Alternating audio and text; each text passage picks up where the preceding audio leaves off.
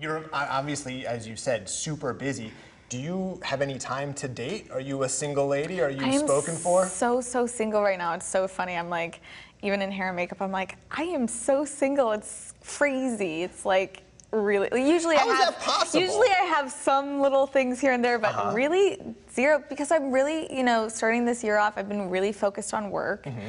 and um, so yeah. But I'm I'm really out there. I'm open. I'm here. Call me. Well, what then what what catches your eye? What what's going to be a thing that's going to get Charlotte McKinney's attention? A lot of people know for me, my biggest thing's humor. Okay. a funny guy and that doesn't take themselves too serious and who doesn't talk about themselves all day.